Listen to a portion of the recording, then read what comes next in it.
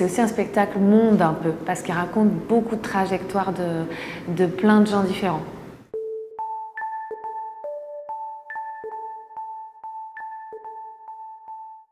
Alors 1200 tours, c'est les tours de la machine à laver d'un cycle d'essorage pour un peu raconter euh, comment nous on est pressurisé euh, dans le monde actuel euh, au niveau de l'information, de la quantité de choses qu'on doit supporter, on va dire. Et il y a aussi cette idée de ces 1200 séquences de la vie de personnages d'un monde en fait multiple qui vit à Paris dans les années 2020.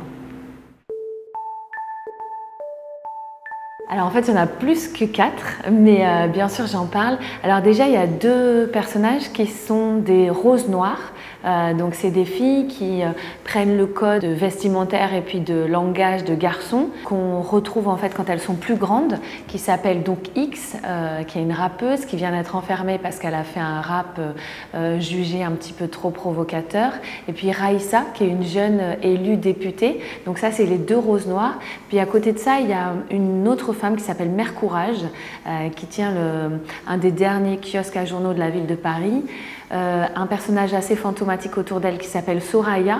Mais en fait, autour, il y a aussi beaucoup d'autres figures féminines parce que c'est vraiment aussi une pièce sur la question de euh, quel récit on peut raconter avec des figures de femmes aujourd'hui, qu'est-ce qu'elles racontent, qu'est-ce qu'elles portent en elles, autant dans leurs histoires que dans leur futur.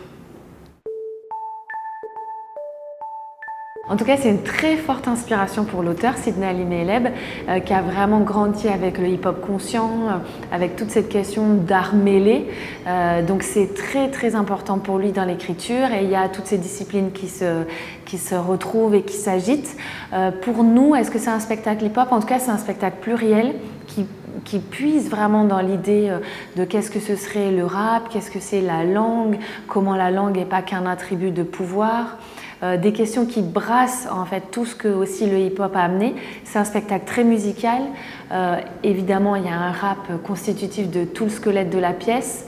Voilà ce que je peux dire. C'est aussi un spectacle monde un peu, parce qu'il raconte beaucoup de trajectoires de, de plein de gens différents.